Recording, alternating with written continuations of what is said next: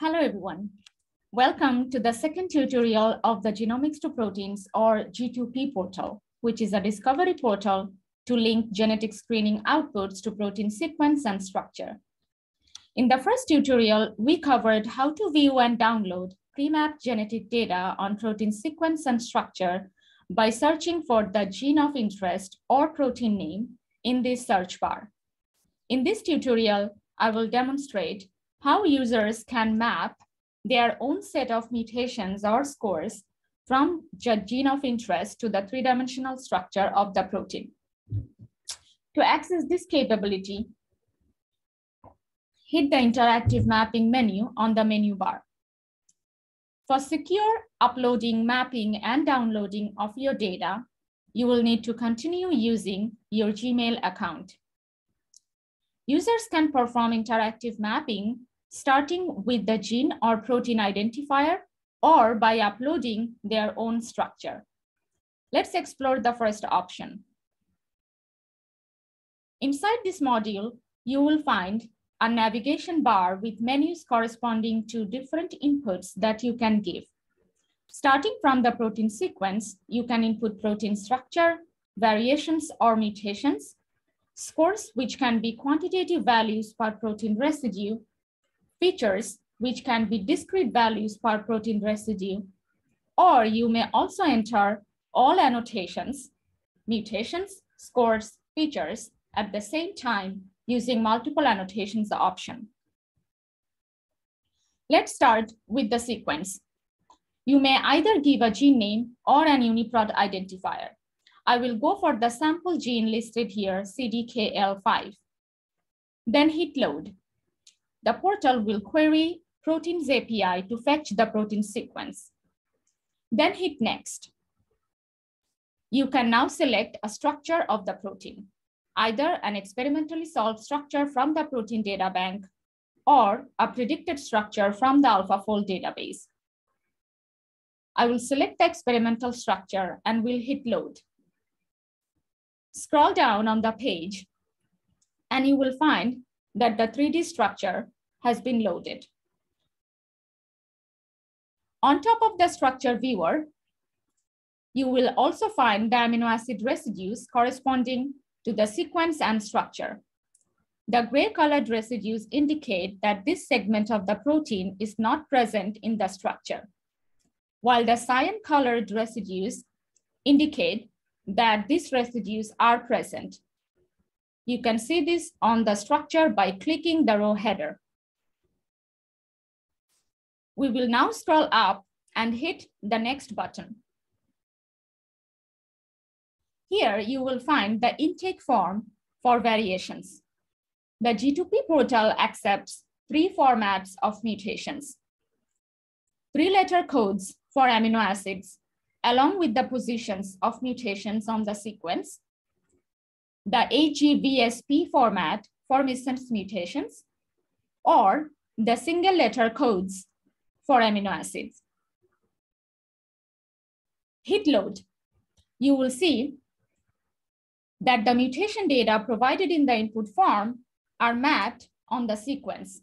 For example, glycine at position 22 is mutated to glutamic acid.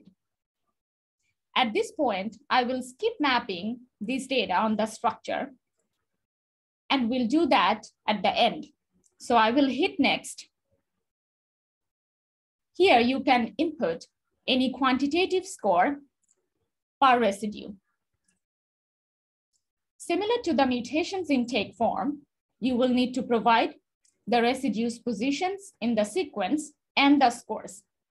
Note that you may input multiple scores in different columns separated by comma or tab. For example, we have two dummy scores as input here, some sort of hotspot scores and conservation score. I will hit load and the input annotations will be mapped on the sequence. Let's hit next. In this features option, you will be able to input discrete value annotation per residue. For example, hit the sample format and you will see that multiple segments of protein sequence is annotated with domains and secondary structure information. I will click on load and the input annotations will be mapped on the sequence. Next, using the multiple annotations option, I can load all the three different types of annotations and can map them on the sequence. Now, we will map all the annotations which so far have been mapped only on the sequence on structure. I will click on benign mutations to map benign mutations on structure. Any mutation will be visualized in 3D as spheres. To change the color of a mutation type, click on the color selection palette and select your desired color. I will go for blue for benign mutations.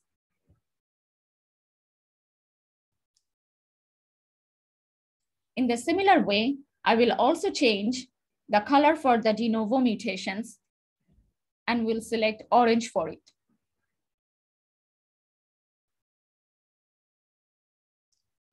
Note that you can concurrently visualize multiple types of annotations on structure. Here I have mapped both de novo mutations and benign mutations on structure. For the positions with overlapping type of mutations, the color will correspond to the latest type you have selected. So if I map first the benign mutations and then the pathogenic ones, I will see red on the positions with overlapping benign and pathogenic mutations. While the mutations are mapped as spheres, scores are mapped as a spectrum of color on the structure. For example, I can map the hotspot score using a spectrum of purplish color from the color selection palette.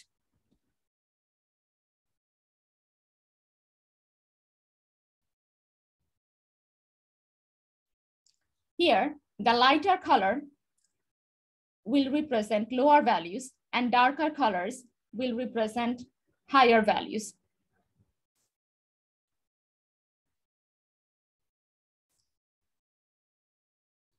Finally, the annotations of discrete features is mapped using single discrete color per feature. For example, we had two discrete values in the domain column ATP binding region and protein kinase. I want to see ATP binding region in yellow and protein kinase in cyan. I'll hit done. And you will see the annotations on the structure in your desired color.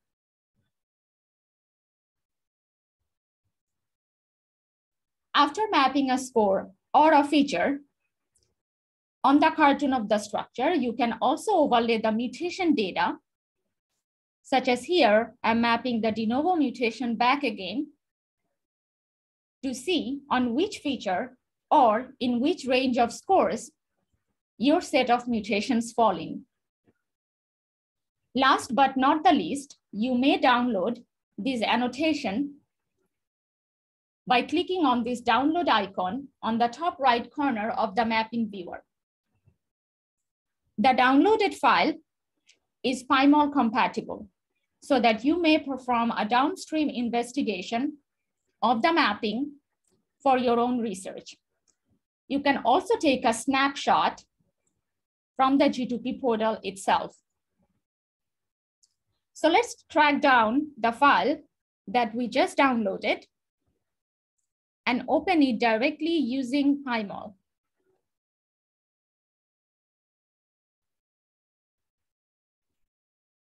To the right side of the PyMol, you will see the annotations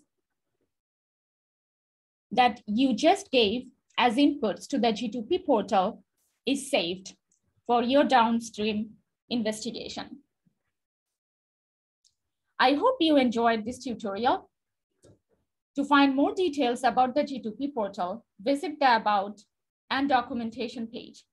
You can also send us feedback or ask any question using this feedback form. For more tutorials and case studies, stay tuned to the G2P portal YouTube channel. Thank you.